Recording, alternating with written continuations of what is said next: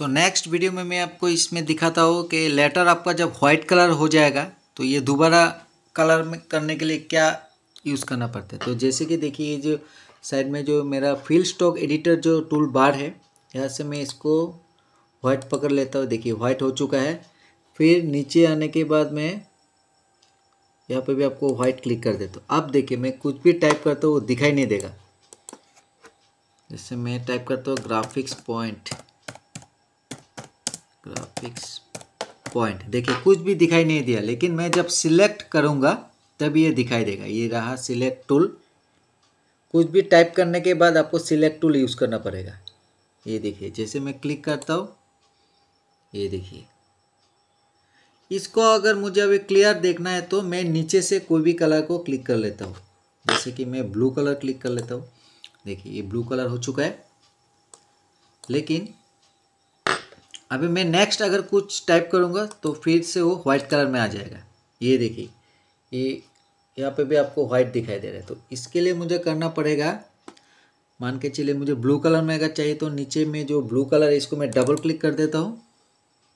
ये रहा, यहाँ पे आके एक बार आप ओके और ये जो साइड टूल है, यहाँ पे आके आप एक बार ब्लू कलर कर दीजिए।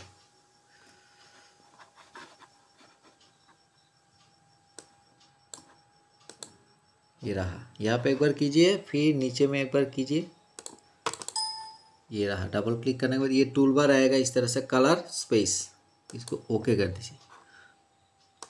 अब मैं कुछ भी टाइप करूँगा, देखिए सब ब्लू में आएगा। ये प्रॉब्लम आया हुआ है कुछ देर पहले। एक क्लाइंट मुझे कॉल किया है वेस्ट बंगाल से। तो बोला कि, दादा, आप मुझे इस टाइप का कुछ वीडियो बना के दीजिए, जिससे कि कलर अगर चेंज हो जाता है तो कैसे लाया जाता है? ये देखिए। अभी मैं जितना भी टाइप करूँगा, सब ब्लू कलर में आएगा और आपको दिखाई भी देगा। ये देखिए, मैं कुछ भी टाइप करता हूँ। तो कैसे ये यूज़ किया जाता है, आप एक बार देखिए रिपीट कीजिए इस वीडियो में। एकदम आसान है।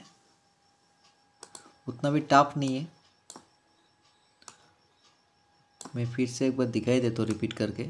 ये रहा साइड में फिल स्टॉक एडिटर बॉक्स इसमें जाकर मैं वाइट क्लिक कर दिया हूँ।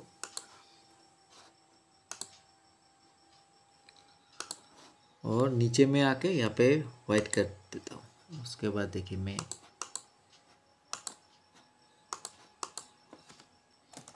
देखिए मैं कुछ भी टाइप करता हूँ, दिखाई नहीं देगा। जब तक मैं सिलेक्ट टूल नहीं करूँगा, दिखाई नहीं देगा। ये रहा।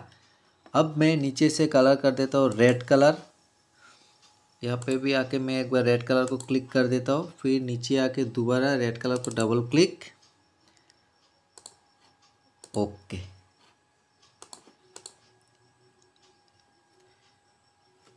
तो इस तरह से ये यूज़ किया जाता है टूल दूसरा तीन नंबर वीडियो में फिर अभी बनाता हूँ, वो दूसरा टूल्स के ऊपर। तब तक ये वीडियो को एक बार देखिए आप अच्छे से।